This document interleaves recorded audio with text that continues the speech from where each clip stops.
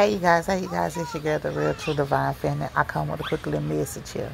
Y'all was laying down right here. Somebody wants to talk to you very, very bad. I seen somebody sitting on the bed rubbing their head like, man, why did I do that? Why didn't I listen?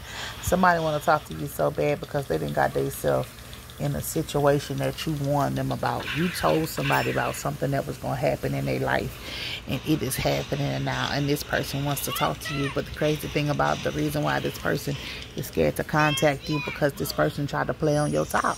This person tried to downplay who you was when you told them some things. They tried to lie and say like they wasn't doing it, like it wasn't happening. But now the heap of cold and rained on this person's head, and they and the vision you gave them then became a reality to them.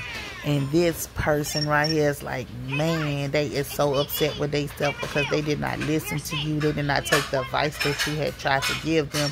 You warned somebody. You forewarned them multiple times about a person, a place, a thing, or something they had their hands into. And this person did not uh, value your opinion, value what you said. This person called you crazy. But now it's it's taking place in their life. What you said, what you told them what was gonna happen, that's exactly how it happened. Like some of them finding out babies not theirs. Some of them uh, got hit with child support papers. Some of them got hit with court cases. Some of them going to face some time. Like some of them finding out their family was stealing money from them. It's like a lot of stuff I seen. I seen going on because they did not listen. They did not want to take heed or listen to what you were saying and, and or none of that. They didn't even believe in what you was telling them. And now this person is really, really, really, really, really, really, really regretting not taking the time or the initiatives to talk to you, to believe in you, to just now they want to know more.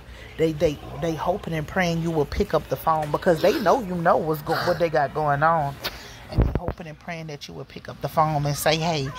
But this, this, this, this, this, this, and that. But you're not doing it. You know why you're not doing it? Because God is ordering you to stay in your lane and mind the business that pays you.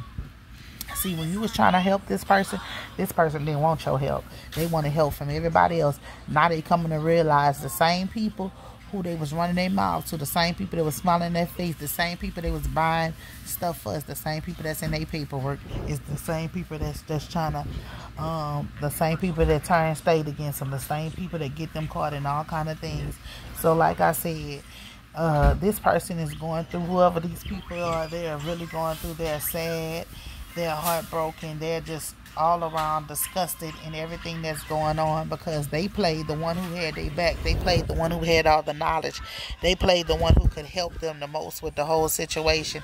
And now they feeling now they feeling stupid because they can't they don't know how to come and tell you everything you said was right. Everything you said, everything you called out was 100% right and they not even understand it. Well, that's the message I have for you guys. It's your girl, the real true divine feminine. Please like, share, and subscribe. Peace.